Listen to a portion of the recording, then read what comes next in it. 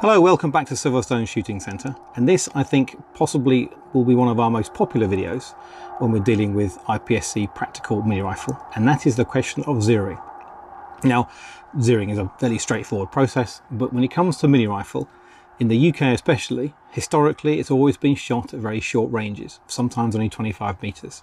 So suddenly optic choice and zero becomes less of an issue. However, mini rifle technically should be shot up to 120 metres. Uh, here in, the, in Silverstone we shoot up to 100 metres. So a lot of people coming here for competitions and saying, I don't know where I'm going 100 metres, I've never shot the gun beyond 50 metres. Now obviously it's our intention to try and expand the sport and expand people's knowledge of the sport. So what I'm going to do now is show you the procedure that I follow through uh, to zero rifle. Now most people say, what you zero to, John? What would you zero at? Bearing in mind you're shooting at distances from inches to 100 metres. And that's why I run multiple optics. A Hawke primary and an Aimpoint secondary red dot, which I'll go through in a second video and I've covered before anyway. But for the purposes of all zeroing, I run a zero to 25 meters. So that means my main primary optic, in my case the Hawke Vantage scope, uh, is zero to 25 meters. And I then hold over for different distances from one meter up to 100 meters. Now, this is also quite interesting about the Vector because it has a relatively high sight over bore in terms of configuration of the barrel being quite low in the action compared to an AR, which is higher up, and obviously an optic up here, you'd imagine be a huge difference. Now, here's where it's got interesting. With a 12 inch barrel and standard velocity ammunition, my zero widening position from one meter to 100 meters is smaller than with my Kriss DMK, which is a standard AR type platform. So interesting to note. So what I've done here at the range now, I'm in one of 100 meter ranges. And what I've done is I've put IPSC mini targets at 10 meters, 25, 50, 75, and then a IPSC full size target at 100 meters, which I can see on my TV here as well. And what I've done is I've zeroed my rifle to 25 meters. And then what I'm looking at is I'm shooting it from the same position, same day, same angle, same process.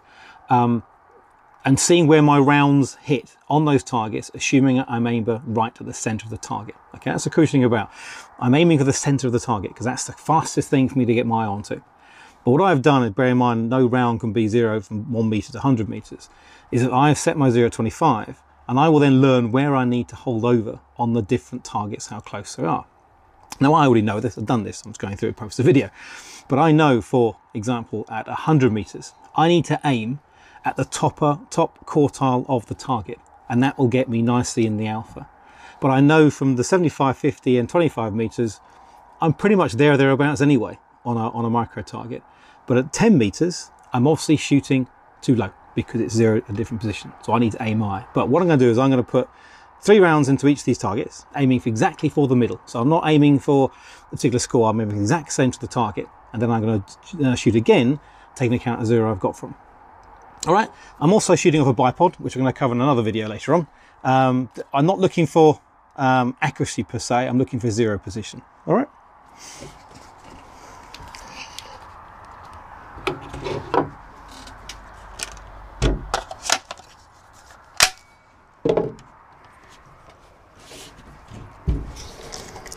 So I'm going to start with uh, 100 meters.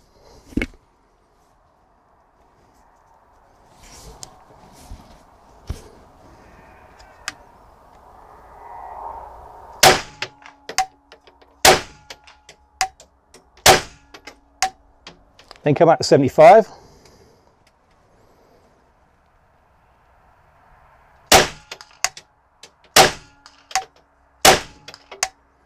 Now to 50.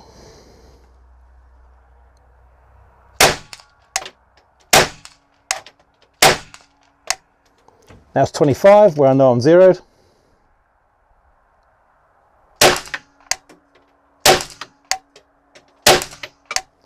And finally to 10. I'm to zoom out for this.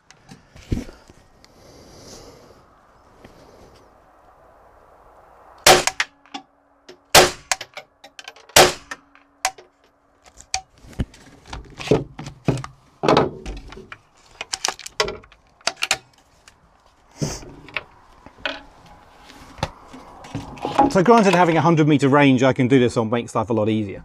Um, what I'm going to do now is I'm going to walk down range and I'm going to see where my rounds have gone. So I can then determine And remember, I'm aiming exactly for the center of the target. So I know they're going to be low and high depending on what I'm aiming for. And I'm going to basically, so I can see where I need to aim and hold over for this point in time. Let's go have a look. So there you go, 10 meters. I'm aiming right smack in the center of the target here, and I'm about two and a half inches too low, as expected. So I'm zero at 25. I know I'm gonna have to aim up a couple of inches to get into the alpha at a shorter distance shot. All right, onward to 25. Right, so here I'm at 25 meters. Obviously I've pulled them over left a little bit of other concern. I'm more concerned about the elevation I've gone from terms of the zero. So I'm smack center of the target, which makes sense I'm zero at 25 meters. Pulled it a bit, crappy shooting. But as long as I'm on this line, that's what I'm looking to do. So I know I'm zero at this point. Let's look at 50. Okay, so here's 50 meters. Now again, I've pulled them a bit. Clearly I'm not shooting very well, but it's primarily for the camera. I'm literally a little bit high. Pull the shot, look crappy over here. But I'm roughly a little bit high as you'd expect. So if I'm zero at 25 meters, I know at 50 meters, it's not, it's borderline the same. It really is. I always say to people, 25 meter zero to 50, there's not really a whole, any holdover at all, which reflects this. The fact they're both left, just yes, I pointed to zero my scope on the left hand side more. But the fact I'm in the right sort of area here means I'm happy. So it means in shots between 50 and 25 meters, I'm still aiming bob on for the center of the target I want to look at. All right, 75. Okay, so I'm at 75 meters, and as you can see, slightly low, not a huge amount. Again, from a zeroing perspective, bear in mind I'm aiming here. It's about an inch low, I'd say, take the account the grouping, but 75 meters. But again, it's not a huge difference. 25, 50 to 75 on the Vector with a 12 inch barrel and stand ammunition is not a big drop, but we are starting to see a drop. So I'd probably say, taking out of your accuracy, we're looking about a two inch drop compared from 25 to 75 meters, which is about right. And finally, let's go look at 100 meters. Okay, so here I'm at 100 meters. Now again, I'm aiming in this center area here, middle of the alpha. As you can see, I'm grouping just a bit too low. It's about four inches, four and a half inches maybe, which makes sense because at 75 meters, we're about one and a half, maybe two inches too low. And now at 100 meters, we're about four inches too low. So it means for purposes of holding over, I'll keep my zero at 25 meters, adjust my zero very small amounts for 50 meters, 75 meters, but for 100 meters, I'm going to aim top edge of the target. Now it's interesting because on my DMK with a 16 inch barrel, same ammunition, I had to aim at the very top edge of the target to actually get into an alpha. Whereas with the Vector, with a 12 inch barrel, same ammunition, I'm actually aiming a little bit lower to maximize my alpha score. As it is, I'm not unhappy with that at 100 meters. Granted, I'm shooting off a, a bipod, which makes life a lot easier. But in terms of the zero capacity the, for the four distances, I can then work out in terms of where I need to aim keep my zero at 25 meters, but knowing that I need to aim up about four or five inches, 100 meters, up a couple of inches at about 75 meters, but pretty much maintain that zero at 50 and all the way up to seven, uh, at 25, all the way up to 50. Also, when I'm not near a distance, I know I'm going to shoot a lot higher because my rounds are going to be about four inches lower. So my zero between 100 meters and 10 meters, pretty much same holdover, which is not uncommon on the mini rifle. All right, so that's what I try to do. Hopefully that's useful. Obviously people who are members here can use the range for that purpose, which is useful. But if your own range, obviously you should be able to at least, you know, put targets out at different distances, maintain your zero, and then move from there. Hope that's useful. Any questions, obviously do please let me know. Do subscribe as well. Got some more videos coming as well, so hopefully that's worth having. All right, see you again soon. Cheers.